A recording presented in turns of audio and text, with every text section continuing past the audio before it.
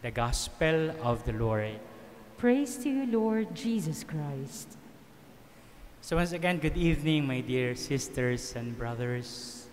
Siguro one of the center reflection of our celebration for tonight and the readings ay yung tinatawag natin na authenticity o yung pagiging totoo.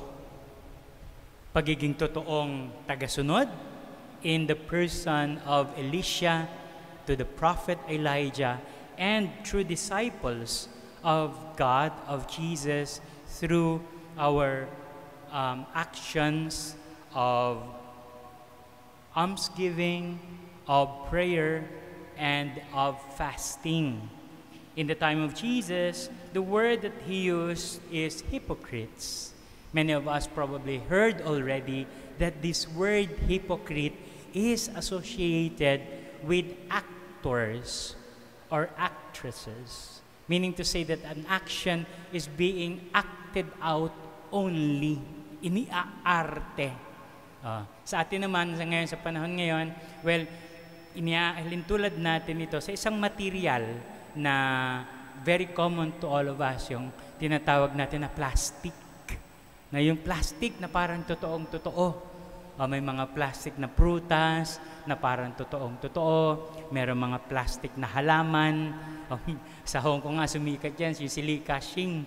Uh, nagsimula lang sila doon sa mga flowers na akala mo talaga ay totoong totoo. Uh, tapos, uh, sa mga bagay no, na pag sinabi natin na imitation lang yan, yari sa plastic, o kaya kahit sa mga tao, inihahalin, tulad natin yan, oh, plastic naman yan, arte lang yan, o, iba yung pinapakita sa harap, pero sa likod, pinag-uusapan naman. O, maraming ganun, eh, no? pag, naku, maraming ganyan, yung pag hindi ka kasama sa grupo, ay kayo pinag-uusapan. O pag naado ka naman sa grupo, naku, kay babait, para mga santo at mga santa. O ay tayong lahat siguro ay minsan ay napapasubo sa o napapa, ganun, napapaalagay sa ganung sitwasyon wherein we have sometimes, if not, sana hindi always, na meron tayong mga inauthenticity in our hearts, in our actions, in our expressions of faith. So in Jesus, pinapalalahanan niya yung kanyang mga disciples, be true to these very important um, actions or deeds that we are doing, or that siguro in the context of his disciples, that the disciples of Jesus are doing. Why? Because of the fruit or the meaning of real almsgiving, real um, fasting, and of course, real prayer. Ano ba talaga ang ang napapala kung ang mga aksyon na ito ay talagang ginagawa natin na ayon sa kagustuhan ng Diyos. Well, it is um, the fruit of these actions can result to an authentic discipleship and authentic experience of God. Kasi, o halimbawa, tingnan natin yung almsgiving. Oh, may nabasa ko doon na oh, this deeds, at actually pang, pang Lent ito. Sabi doon sa nabasa ko, itong mga actions na ito will lead us to empty ourselves of pride, of the wrong notion of power, or the wrong notion of being holy in front of others. O yung pagbibigay.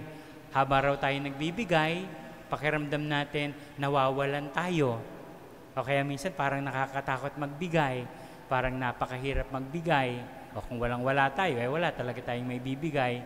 But if you have something, it is very difficult to give because of that notion na, ay, mawawalan ako. O kaya that notion na, baka hindi maibalik sa akin yung ibibigay ko. But where in fact, it is the emptiness later on that will be replaced by the grace of God by the presence of God.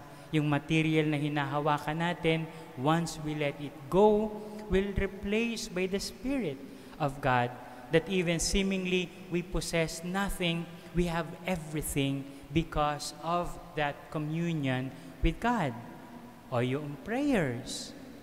Hindi ba? Yung prayers, authentic prayers na alam ng Diyos kung tayo ay nakaharap sa Kanya, kung tayo naninikluhod sa Kanyang harapan.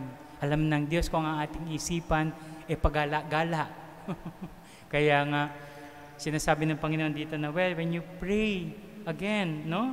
You have to go to a place wherein you can meet God. Yung labas na kung may nakakakita sa iyo, kung may nakakaalam na ikaw ay nagdarasal.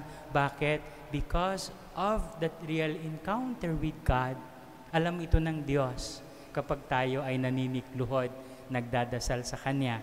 O yung fasting, ganun din. Ano ba ang common experience natin pag fasting? Gutom.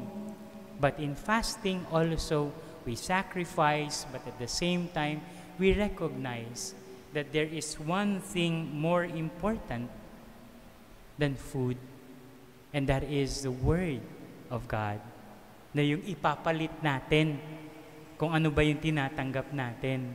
O kaya nga sabi ng Panginoon, don't look like gloomy. Physically, maybe you are gutom, but a true fasting will result into a spiritual fulfillment, kapunuang pang-espirito. O kaya nga, ito, sinasabi ng Panginoon, magpakatotoo tayo sa harap niya. Magpakatotoo tayo sa ginagawa nating mga kabanalan.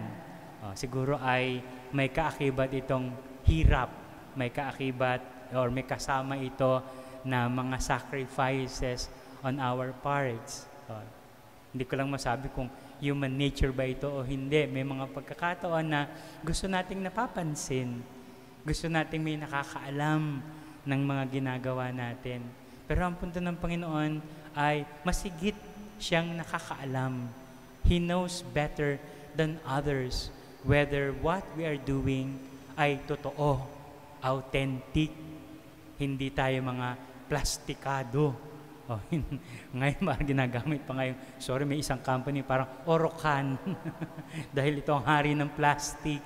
Oh, ito, sinasabi ng Panginoon. At kanina siguro napansin niyo na ikinonekta ko doon sa first reading wherein Elisha in his journey with Elijah was given that cloak, that mantle of being a prophet that by being true to Elijah, by speaking with Elijah, he was rewarded. Hindi na siya apprentice ngayon, kundi he will be recognized as a prophet of God. Hindi niya napansin that the power, no, or the being as a channel of power was given to Eli- Elisha in the end of our reading.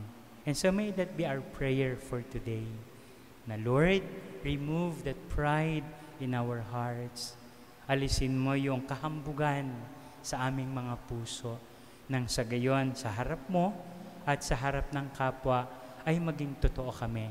Totoong tagasunod mo, totoong disciples, totoong kapatid sa aming kapwa sa pamagitan ng tunay na pagbibigay, tunay na pagdarasal, tunay na pag-aayuno, tunay na pagfa-fasting para rin sa iyo and recognize us, Lord, as your true followers. Amen.